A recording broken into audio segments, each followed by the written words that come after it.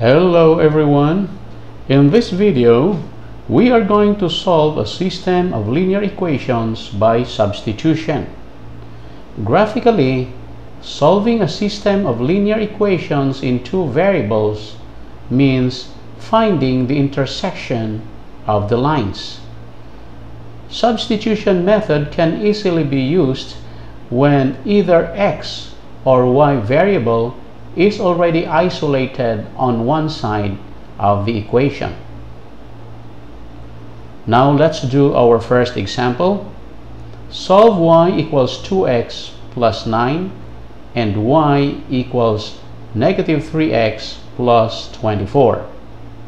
On our first equation, y is already isolated on the left side and on our second equation, y is also isolated on the left side.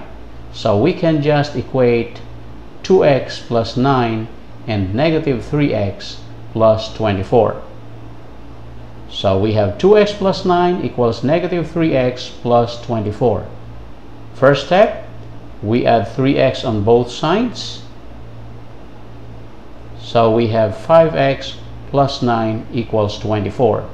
Then subtract 9 from both sides we have 5x equals 15.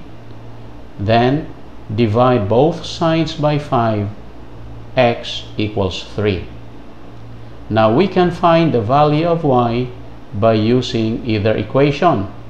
Using the first equation, we are going to substitute x with 3. So that's y equals 2 times 3 plus 9 and 2 times 3 is 6 so that's y equals 6 plus 9 and 6 plus 9 equals 15 so our x is 3 our y is 15 and we can write our answer as 3 and 15 example number 2 solve y equals 4x plus 7 and 3x minus 2y equals 11 on our first equation y is already isolated on the left side. So we can substitute y on the second equation with 4x plus 7 so we have 3x minus 2 times the quantity 4x plus 7 equals 11 next we are going to get rid of parentheses so to do that, we multiply negative 2 times 4x and negative 2 times 7. So we have 3x minus 8x minus 14 equals 11. Now we can combine like terms. 3x minus 8x, that's negative 5x. So we have negative 5x minus 14 equals 11. Then after that, we are going to add 14 on both sides so that becomes negative 5x equals 25 dividing both sides by negative 5 x equals negative 5 now to solve for x we will use the first equation substituting x with negative 5 so it becomes y equals 4 times negative 5 plus 7. And 4 times negative 5 is negative 20. So we have y equals negative 20 plus 7. And negative 20 plus 7 is negative 13.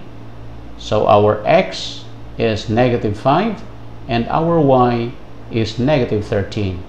We can write our answer as coordinates negative 5 and negative 13. Example number 3. Solve 7x plus 3y equals negative 10 and x equals 2y minus 16. On our second equation, x is already isolated on the left side, so we can substitute x on the first equation with 2y minus 16. So it becomes 7 times the quantity 2y minus 16 plus 3y equals negative 10. Next step, we are going to get rid of parentheses. That's 7 times 2y and 7 times negative 16 so that gives us 14y minus 112 then plus 3y equals negative 10 then we can collect like terms 14y and 3y that's 17y then minus 112 equals negative 10 then we add 112 on both sides so 17y equals 102 then divide both sides by 17 y equals 6 and we can solve for x by substituting y with 6 on our second equation. So it becomes x equals 2 times 6 minus 16 and 2 times 6 is 12 so x equals 12 minus 16 and 12 minus 16 equals negative 4 so our x is negative 4 and our y is 6 we can write our answer as coordinates negative 4 and 6 now your turn solve the following using substitution method number 1 solve 6x minus 5y equals negative 22 and y equals 5x minus 7. Number 2, solve x equals 8y minus 23 and 3x plus 5y equals negative 11.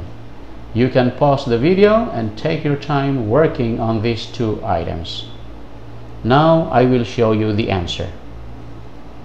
For number 1, x equals 3 and y equals 8 or we can write our answer as coordinates 3 and 8 for number 2 x equals negative 7 and y equals 2 or we can write our answer as coordinates negative 7 and 2 did you get the two items right?